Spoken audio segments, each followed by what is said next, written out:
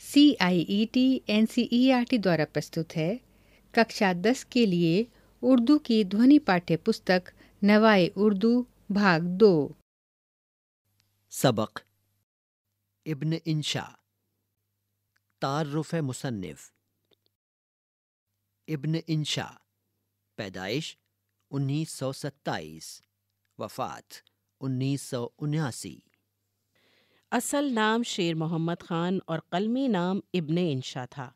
جالندھر میں پیدا ہوئے، انیس سو سینتالیس میں اپنے خاندان کے ساتھ لاہور، پاکستان آ گئے۔ انیس سو باون میں کراچی یونیورسٹی سے ایم اے کیا، مختلف سرکاری عہدوں پر فائز رہے۔ ابتدا میں روز نامہ امروز لاہور میں فقاہیہ کالم تحریر کیے۔ بعد میں روز نامہ جنگ کراچی اور اخبار جبل میں بھی کالم لکھے۔ شاعر اور مزاح نگار کی حیثیت سے شہرت ملی۔ ابن انشا اردو اور فارسی کے الفاظ کے ساتھ محاورہ، روزمرہ اور انگریزی الفاظ کا استعمال اس برجستگی سے کرتے ہیں کہ طنز و مزاح کے ساتھ تحریر میں ادبی شان پیدا ہو جاتی ہے۔ آوارہ گرد کی ڈائری دنیا گول ہے۔ چلنا ہو تو چین کو چلیے۔ ابن بطوطہ کے تعقب میں دلچسپ سفر نامے ہیں۔ قصہ ایک کنوارے کا، اردو کی آخری کتاب اور خمار گندم وغیرہ ان کے مزاحیہ مضامین کے مجموعے ہیں۔ انیس سو پچپن میں ان کا شعری مجموعہ چاند نگر منظر عام پر آیا۔ ابن انشا نے بچوں کے لیے نظمیں بھی لکھیں۔ بلو کا بستہ کے عنوان سے ان نظموں کا مجموعہ شائع ہو چکا ہے۔ مضمون اشتہارات ضرورت نہیں ہے کہ ابن انشا کی کتاب خمار گندم سے ماخوذ ہے۔ اب پیش ہے مضمون اشتہارات ضرورت نہیں ہے کہ۔ ایک بزرگ اپنے نوکر کو فہمائش کر رہے تھے کہ تم بالکل گھامڑ ہو۔ دیکھو میر صاحب کا نوکر ہے اتنا دور اندیش کہ میر صاحب نے بازار سے بجلی کا بلب منگایا۔ تو اس کے ساتھ ہی ایک بوتل مٹی کے تیل کی اور دو موم بتیاں بھی لے آیا کہ بلب فیوز ہو جائے تو لالٹین سے کام چل سکتا ہے اس کی چمنی ٹوٹ جائے یا بتی ختم ہو جائے تو موم بتی روشن کی جا سکتی ہے۔ تم کو ٹیکسی لینے بھیجا تھا، تم آدھے گھنٹے بعد ہاتھ لٹکاتے آ گئے۔ کہا کہ جی ٹیکسی تو ملتی نہیں، موٹر رکشہ کہیے تو لیتا آؤں۔ میر صاحب کا نوکر ہوتا تو موٹر رکشہ لے کر آیا ہوتا۔ تاکہ دوبارہ جانے کی ضرورت نہ پڑتی۔ نوکر بہت شرمندہ ہوا اور آقا کی بات پلے باندھ لی۔ چند دن بعد اتفاق سے آقا پر بخار کا حملہ ہوا تو انہوں نے اسے حکیم صاحب کو لانے کے لیے بھیجا۔ تھوڑی دیر میں حکیم صاحب تشریف لائے تو ان کے پیچھے پیچھے تین آدمی اور تھے جو سلام کر کے ایک طرف کھڑے ہو گئے۔ ایک کی بغل میں کپڑے کا تھان تھا، دوسرے کے ہاتھ میں لوٹا اور تیسرے کے کندھے پر پھاوڑا۔ آقا نے نوکر سے کہا یہ کون لوگ ہیں میاں؟ نوکر نے تعارف کرایا کہ جناب ویسے تو حکیم صاحب بہت حاضق ہیں لیکن اللہ کے کاموں میں کون دخل دے سکتا ہے؟ خدا نخواستہ کوئی ایسی ویسی بات ہو جائے تو میں درزی کو لے آیا ہوں اور وہ کفن کا کپڑا ساتھ لایا ہے۔ یہ دوسرے صاحب غسال ہیں اور تیسرے گورکن ایک ساتھ اس لیے لایا کہ بار بار بھاگنا نہ پڑے۔ ایسے ہی ایک بزرگ ہمارے حلقے میں بھی ہیں۔ گلی سے ریڑی والا ہانک لگاتا گزر رہا تھا کہ انگور ہے چمن کے پپیتے ہیں پیڑ کے پکے ہوئے۔ انہوں نے لڑکا بھیج کر انہیں بلایا اور کہا میاں جی معاف کیجیے ہمیں ضرورت نہیں۔ پھل والا چلا گیا۔ تو ہم نے عرض کیا کہ اس زحمت کی کیا ضرورت تھی؟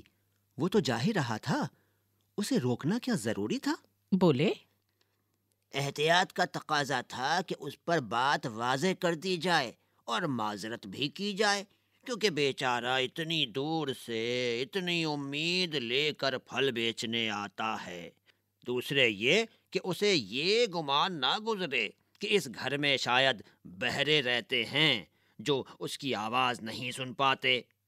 یہی ہمارے دوست ایک روز کار میں ہمارے ساتھ گولی مار سے گزر رہے تھے۔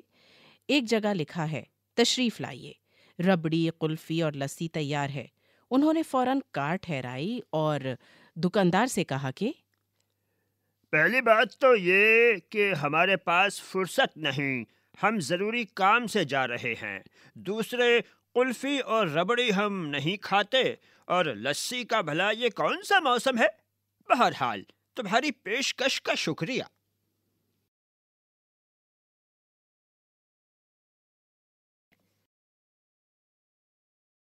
وہ تو بیٹھا سنا کیا اور نہ جانے کیا سمجھا کیا۔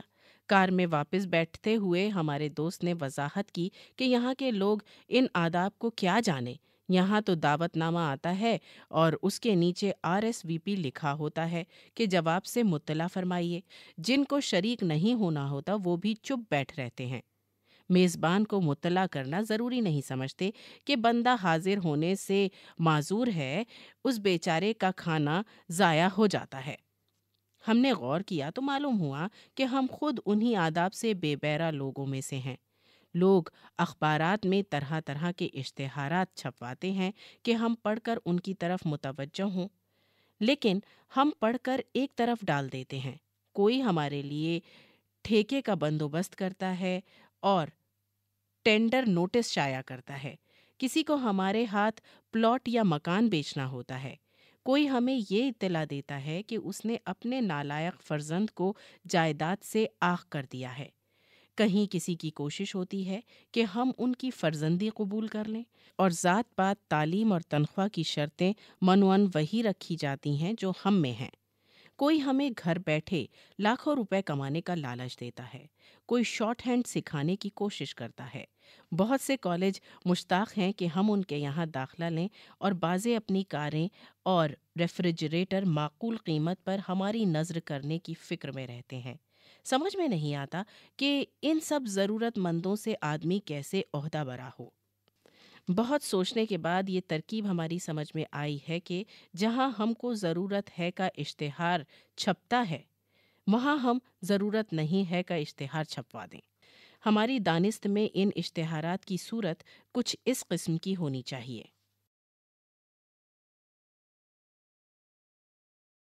کرائے کے لیے خالی نہیں ہے۔ چار سو گز پر تین بیڈ روم کا ایک ہوادار بنگلہ نما مکان، جس میں نلکا لگا ہے، اور عین دروازے کے آگے کارپوریشن کا کوڑا ڈالنے کا ڈرم بھی۔ کرائے پر دینا مقصود نہیں ہے۔ نہ اس کا کرایہ تین سو روپے ماہوار ہے اور نہ چھ ماہ پیشگی کرایہ کی شرط ہے۔ جن صاحبوں کو کرائے کے مکان کی ضرورت ہو، وہ فون نمبر تین چار پانچ چھ سات پر رجوع نہ کریں۔ کیونکہ اس کا کچھ فائدہ نہیں۔ اطلاع عام۔ راقم محمد دین ولد فتح دین کریانہ مرچنٹ یہ اطلاع دینا ضروری سمجھتا ہے کہ اس کا فرزند رحمت اللہ نہ نافرمان ہے نہ اوباشوں کی صحبت میں رہتا ہے لہٰذا اسے جائیداد سے آق کرنے کا کوئی سوال پیدا نہیں ہوتا۔ آئندہ جو صاحب اسے کوئی ادھار وغیرہ دیں گے وہ میری ذمہ داری پر دیں گے۔ ضرورت نہیں ہے۔ کار، مارس مائز، ماڈل انیس سو انسٹھ عیسوی۔ بہترین کنڈیشن میں ایک بے آواز ریڈیو، نہایت خوبصورت کیبنٹ، ایک ویسپا موٹر سائیکل اور دیگر گھریلو سامان، پنکھے، پلنگ وغیرہ قسطوں پر یا بغیر قسطوں کے ہمیں درکار نہیں۔ ہمارے ہاں خدا کے فضل سے یہ سب چیزیں پہلے سے موجود ہیں۔ اوقات ملاقات، تین تا آٹھ بجے شام۔ عدم ضرورت رشتہ۔ ایک نوجوان برسر روزگار آمدنی تقریباً پندرہ سو روپے ماہوار کے لیے کسی باسلیقہ خوبصورت شریف خاندان کی تعلیم یافتہ دوشیزہ کے رشتے کی ضرورت نہیں ہے کیونکہ لڑکا پہلے سے شادی شدہ ہے۔ خط و کتابت سیغ راز میں نہیں رہے گی۔ اس کے علاوہ بھی بے شمار لڑکے اور لڑکیوں کے لیے رشتے مطلوب نہیں ہیں۔ Post box Karachi. داخلے جاری نہ رکھیے۔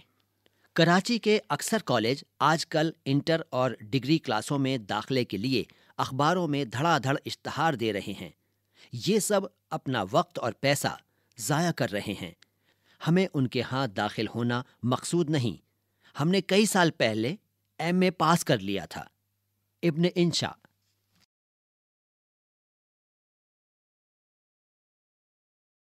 مشق لفظ و معنی۔ فہمائش سمجھانا ڈانٹنا تنبی کرنا۔ دور اندیش بہت سمجھدار مستقبل پر نگاہ رکھنے والا۔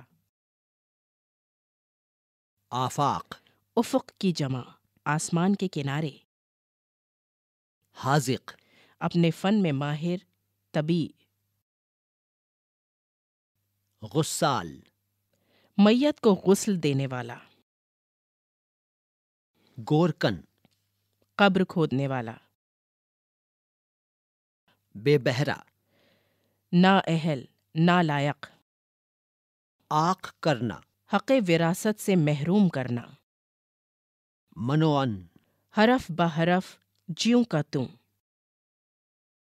عہدہ برآ ہونا۔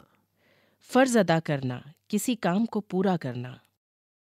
برسرے روزگار ملازمت میں کام سے لگا ہوا ایسا شخص جو بے روزگار نہ ہو۔ سیغہ راز راز کی بات وہ بات جو چھپا کر رکھی جائے۔ مطلوب جو طلب کیا گیا جس کی خواہش کی گئی ہو جو مانگا گیا ہو۔ مقصود مراد غرض مدعا۔ غور کرنے کی بات۔ نمبر ایک۔ یہ مضمون مزاح نگاری کا ایک نمونہ ہے۔ اس کی خوبی یہ ہے کہ معمولی عام اور روزمرہ کی باتوں کو اس طرح پیش کیا گیا ہے کہ بے ساختہ ہنسی آ جاتی ہے۔ یہ ہنسی قہقہے کی شکل میں نہیں بلکہ شگفتگی اور مسکراہٹ تک محدود رہتی ہے۔ نمبر دو۔ ابن انشا کا یہ مضمون بظاہر صرف ہنسانے والا ہے لیکن اس میں طنز کی مدھم آنچ بھی موجود ہے جو سماج میں پھیلی ریاکاری کو ظاہر کرتی ہے۔ صفحہ پچانوے۔ مشق۔ سوالوں کے جواب لکھیے۔ نمبر ایک۔ نوکر آقا کے علاج کے لیے حکیم صاحب کے ساتھ اور کن لوگوں کو لایا؟ نمبر دو، اخبارات میں اشتہارات کیوں چھپوائے جاتے ہیں؟ نمبر تین، اطلاع عام کے اشتہار میں کیا کہا گیا ہے؟ نمبر چار، مضمون نگار کالج میں داخلہ کیوں نہیں لینا چاہتا؟ نمبر ایک، یہاں پر ایک تصویر دی گئی ہے جس میں ایک لڑکے کو دکھایا گیا ہے کہ وہ کھڑا ہوا کوئی اشتہار پڑھ رہا ہے اور آس پاس کچھ اور بھی لوگ گھوم رہے ہیں کچھ کمرے ہیں۔ دی گئی تصویر میں دیے گئے اشتہار سے متعلق کلاس میں گفتگو کیجیے نمبر دو۔ اردو کے پانچ مشہور طنز و مزاح نگاروں کے نام لکھیے۔ نوائے اردو بھاگ دو۔ پیشکش C I E T N C E R T Nai Dilli Bharat.